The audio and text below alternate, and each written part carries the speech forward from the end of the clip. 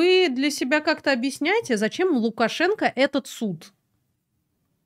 Ну, как и все другие судебные, в кавычках, э, решения, заседания, это осуществление давления на тех людей, которые выступили против э, сфальсифицированных выборов, против насилия, против участия в войне России э, в, против Украины с участием режима Лукашенко и других оснований. То есть он хочет таким образом оказать психологическое воздействие на данных лиц.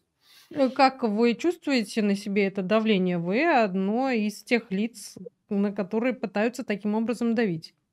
Ну, вы знаете, на меня давление начало оказываться еще с октября 2020 года. Это не возымело действия. Безусловно, и это псевдосудебное заседание не будет не иметь на меня никакого влияния. Это еще больше мотивирует к тому, чтобы бороться с этим ужасным режимом. Я, например, рад сообщить, что сегодня, например, Государственный департамент США принял очередной пакет санкций. 25 э, белорусских чиновников, тех, кто занимается преследованием э, людей э, в Беларуси, нарушает права человека в стране, в стране, попали в санкционный список США. Мы внесли соответствующие предложения Европейскому Союзу, Европейской комиссии. Наши представители Объединенного переходного кабинета, команды Народного антикризисного управления на этой неделе выезжают в Брюссель, чтобы провести переговоры. Мы внесли предложение и Офису президента Украины, Кабинету министров Украины о национальных санкций. В ближайшее время у нас будет встреча с министром внутренних дел, министром иностранных дел Польши. Мы передадим предложение по национальным санкциям. И сегодня как раз, когда началось судебное заседание, у нас было заседание Объединенного переходного кабинета правительства Беларуси во главе с Светланой Тихановской Тихановской, и поэтому мы не занимаемся тем, чтобы следить за этим э, спектаклем. Хотя делаю оговорку, как бывший министр культуры я не могу назвать это спектаклем, потому что я обижу актеров. А я не могу даже назвать это цирком, потому что в цирке также работают профессиональные артисты. Мне не хочется обижать и цирковых артистов. Что это такое? Шоу, я не знаю, представление? Но это точно не суд. А, Павел скажите, а, а будут ли э, те, кто вот сейчас виртуально находится на скамье подсудимых, да даже не виртуально, ну просто обвиняются в этом процессе, да, будут ли они судить Александра Лукашенко? А, ну, мы судить точно не будем, потому что для этого должны быть созданы а, новые суды, я имею в виду а, новые судьи назначены, которые не будут связаны с политическими репрессиями в Беларуси. Я предполагаю, что здесь произойдут кардинальные изменения. И как представитель кабинета, ответственный за вопросы транзита, это один из главных вопросов, которые мы должны обеспечить, это иллюстрация в том числе включить механизмы э, демократического назначения судей. Это может быть парламентские процедуры, иные демократические процедуры, но ни в коем случае мы не планируем влиять ни на какие судебные решения. Сейчас чего мы добиваемся? Мы добиваемся того, чтобы те лица, которые участвуют в репрессиях, понесли ответственность с точки зрения э, международного права и национального законодательства. Ну, например, в рамках универсальной уголовной юрисдикции, если э, сотрудник участвовал в пытках, в отношении него может быть возможно возбуждено уголовное дело на территории любой страны, которая подписала Конвенцию ООН против пыток. И такую работу мы ведем из Польши, из Литвы, из Германии, Чехии. Да, к сожалению, пока безрезультативно, но вместе с тем уже десятки лиц находятся в таких списках подозреваемых. Поэтому я бы им э, подумать предложил, прежде чем ехать э, в страны, которые подписали эту конвенцию, их могут задержать в любой стране.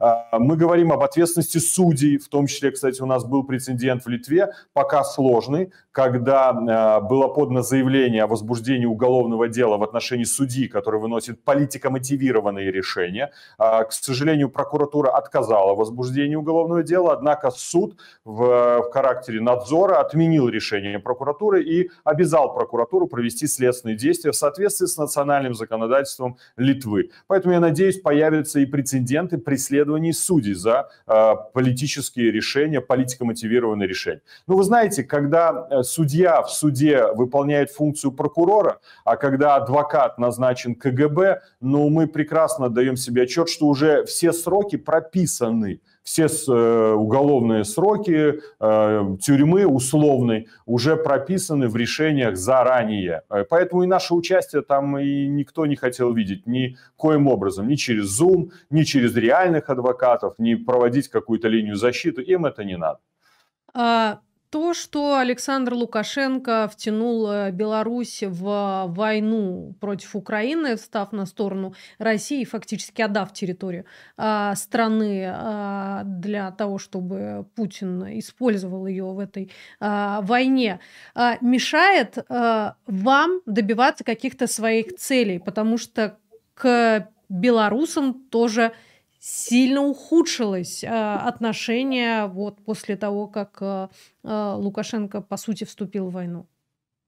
Не совсем так. Первично, да, была определенная негативная реакция. Сейчас все-таки э, при понимании, что не является ситуация идеальной, но она стабилизировалась. У нас очень много белорусов находится в Литве, Польше. Я не скажу, что они встречаются с какими-то колоссальными проблемами, связанными с легализацией своего статуса на территории этих стран. Кстати, и Польша и Литва являются лидерами с точки зрения количества белорусов, проживающих, и с точки зрения отношения к белорусам в целом достаточно ну, благоприятная, то есть позволяющая им э, социализироваться в те условия, в которых они временно находятся в беженстве. Э, если же мы говорим об участии Лукашенко в этой войне, то это наоборот нам помогает. И вот буквально э, сегодня или завтра состоится встреча в рамках форума в Давосе Тихановской с министром иностранных дел Нидерландов.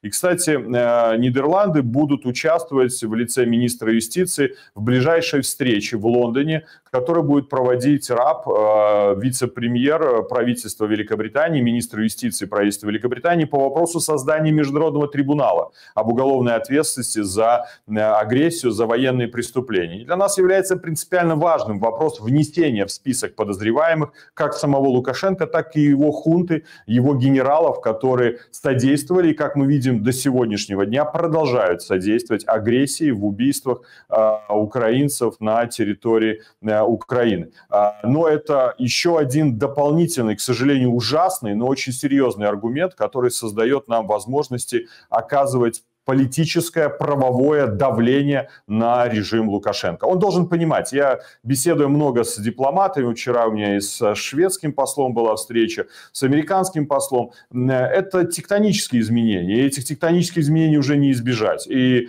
так же, как и Путин, его режим, так же, как и Лукашенко, его режим, они обречены.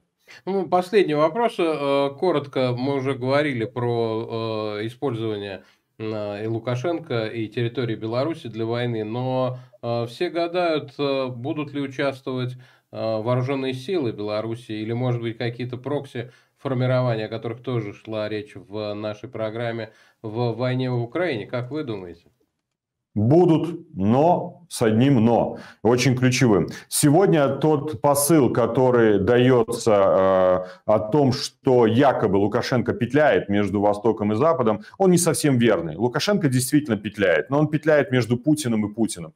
Он хочет выторговать как можно больше экономических преференций от Путина за реализацию стратегических целей задач, которые ставит перед ним тот же Путин. И мы видели последний визит, когда он с букетом цветов встречал в аэропорту на ковровой дорожке э, Путина. И за этот букет цветов, как некоторые политики почему-то считают, Путин решил подарить ему третий блок атомной электростанции, когда Лукашенко даже не заплатил еще за предыдущих два, 10 миллиардов долларов инвестиций, открыл рынок российских товаров. Сейчас идет согласование цены на газ в районе 60-80 долларов США за тысячу кубометров. Э, решаются как бы другие экономические преференции именно в интересах э, режима Лукашенко. Скажите, за букет цветов Путин дает эти все преференции Лукашенко? Нет, за реальную поддержку. Сегодня мы находимся в третьей фазе подготовки агрессии с севера в отношении Украины. Третья фаза – это создание угрозы. Те учения, которые начались вчера, э, военно-воздушных сил и ВКС э, Беларуси и России, и в том числе перемещение воинских подразделений, использование всех восьми полигонов Беларуси для постоянных, непрекращающихся учений, это все создание угрозы применения силы. Но сегодня Лукашенко не хочет послать войска, и это действительно так, потому что это ударит по ему уже самому. И Путину не надо стимулировать Лукашенко отправить сегодня войска с севера в Украину, потому что он понимает, что проблемы Лукашенко станут его проблемами в Беларуси. Но когда будет сформирована ударная группировка на востоке, когда будет сформирована ударная группировка на севере, вот тогда Лукашенко выполнит приказ Кремля. Но э, надо просто смотреть за развитием этой ситуации. И, конечно, тут э, все надежды на вооруженные силы Украины, которым мы помогаем. Мы, кстати, создаем уже третье воинское добровольческое подразделение в Украине и будем расширять нашу помощь настолько, насколько это возможно, украинцам. Спасибо огромное. Это Спасибо. Павел Латушка.